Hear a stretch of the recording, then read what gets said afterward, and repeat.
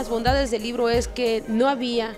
una limitación para escribir, no había una, un asunto de, que, de páginas en específico, sino era reflexionar que la reforma electoral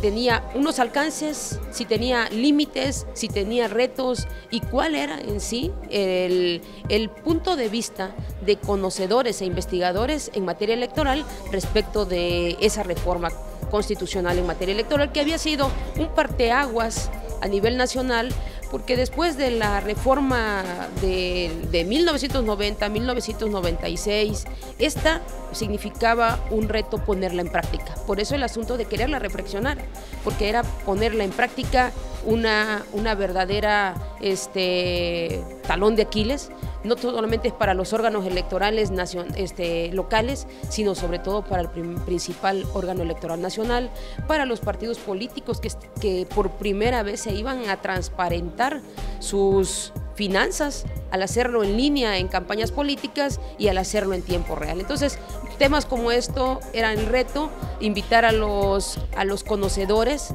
a los investigadores, ese era otro más. Yo creo que, que, los, los universitarios de la Universidad de Jalapa, de la que yo formo parte desde el 2000 como